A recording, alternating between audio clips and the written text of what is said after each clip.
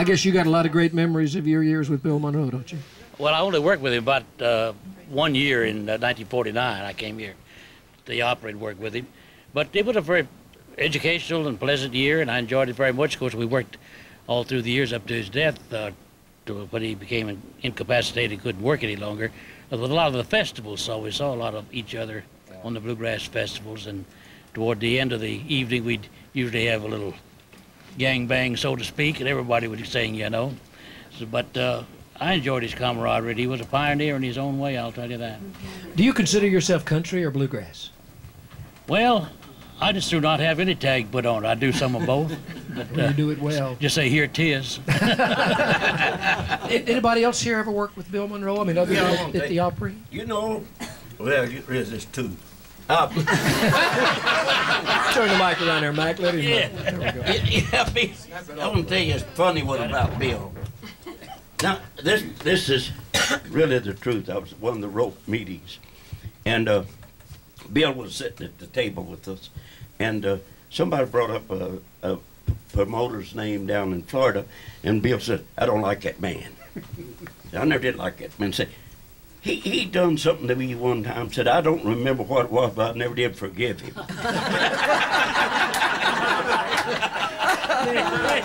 I described him completely.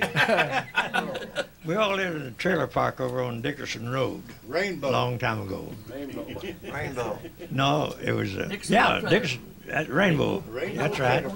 Wow. On Dickerson Road, and Bill had horses back then. He invited me to ride with him one day, and I rode. Of course, I was drinking back them days. and, and, we rode all day long, never stopped riding, and he never said a word all the way till we get back to the trailer camp.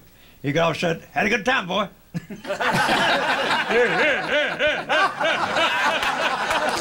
I love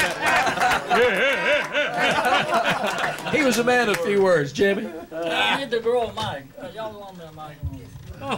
Thank you. I had the pleasure uh, the year after I moved from Louisiana here to the Grand Ole Opry of doing a tent tour all through Mississippi until the tent uh, tornado came blew the tent away. But anyhow, we had a great. It was a great experience to me because I've been working those knife and gun clubs in Louisiana and uh, and a few shows. And uh, yeah, skull arches, and and then we did this tent show, and um, the Everlys. Um, were on the tour, and on the tour, the Everlys had Bye Bye Love to be released, and I had a Falling Star to come out. And at the time Jim Reeves' Four Walls came out, and I'll never forget those times because we had a, it was a great experience working with Bill. Later, Bill recorded two of my songs, but we traveled in this uh, limo, and I rode, and Rufus and I rode with uh, Bill, and we had the back seat with the four Pekingese dogs two two Pekingese. yes. And you talk about dangerous too. You have to be careful where you, you sit down because then dogs take a chunk out of you. it's a great experience. They eat you alive. Yeah, they, yeah. I got bit several times. we handed them uh, crawfish every once in a while to keep them tame. but we got by God. It was a great experience. Uh, you know, right after coming to the Grand Ole Opry to tour with Bill Monroe and to know what it was like and uh, and the tent shows and everything. And as I said, he recorded two of my songs later. So I've got great memories of Bill Monroe, and most of us do. Uh, Bill, I, I spent a little time around Miss Monroe. He looked like my father, and I told him that first time I ever met him. He must be a good-looking man. Yeah, yes, sir. He but Flatt and Scruggs, who worked with him when Mac, just before or after Mac worked with him, I guess everybody in the bluegrass business has one time worked with Bill. Oh, yeah.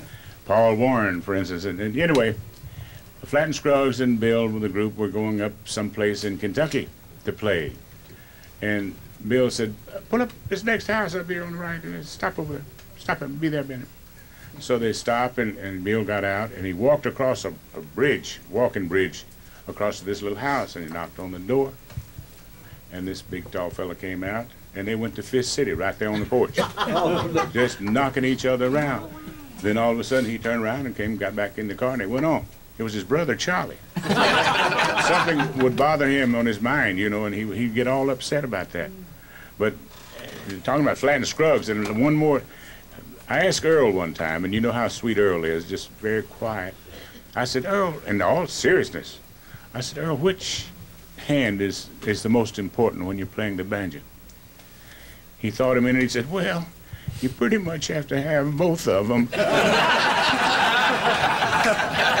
Bill, do you know uh, how many bluegrass players it takes to screw in a light bulb? How many, Joe? It takes seven. One to screw it in and six to say Earl Scruggs didn't do it that way. Bill, I worked a couple times with uh, Bill when Bessie was there.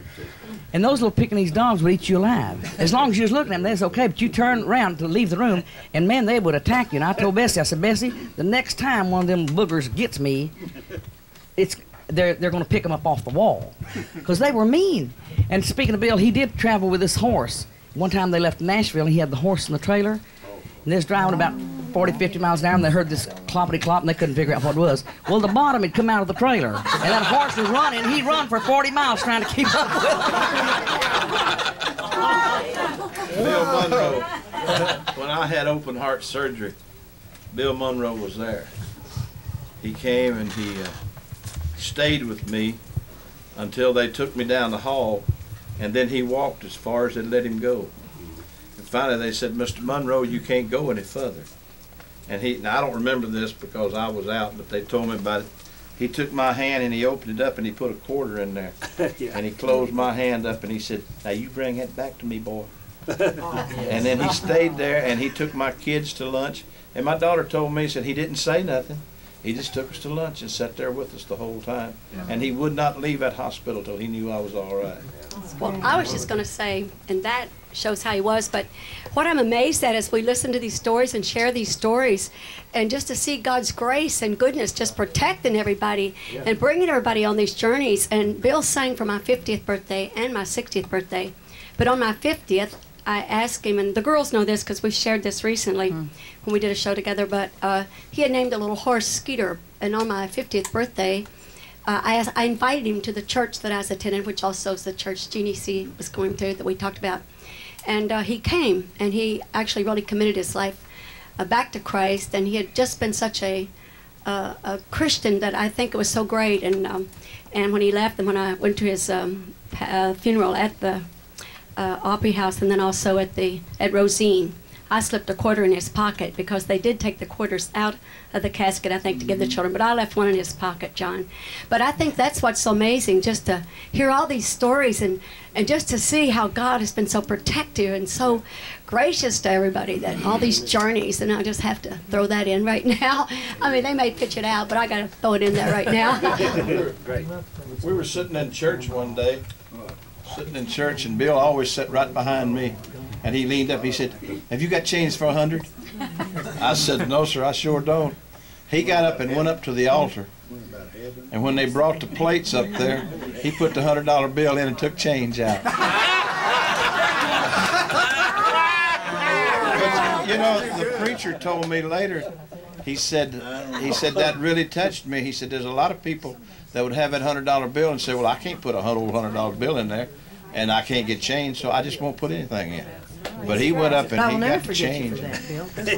Bill, Bill, I got, speaking I of- got one more thing about Bill Monroe. I got to tell this. A guy sent me a song. This is true. And it was called I Don't Want a Cabin in the Valley. I Just Want a Shack Up in the Hills. I took it to Acuff and I said, Ake, got a hit song for you. And I told him the title. Well, Acuff thought it was the funniest thing he ever heard. so I went next door and told Bill Monroe. I said, Mun, got a hit song. I don't want a cabin in the valley. I just want a shack in the hills. He said, "You making fun of people born and raised in cabins?" I said, "No, no, no." He said, "I was born and raised in cabin. You making fun of people living in cabins?" I said, "No, Bill, it's a joke." all of his guys, all his guys left, and he quit speaking to me. If Bill said "Howdy, howdy," he really liked you. He quit speaking to me for months, but he went to the hospital when he had heart surgery, and I waited till he got out of intensive care, and I sent him a little vine, and I said, I don't care if you are mad at me, you old poot. I still love you.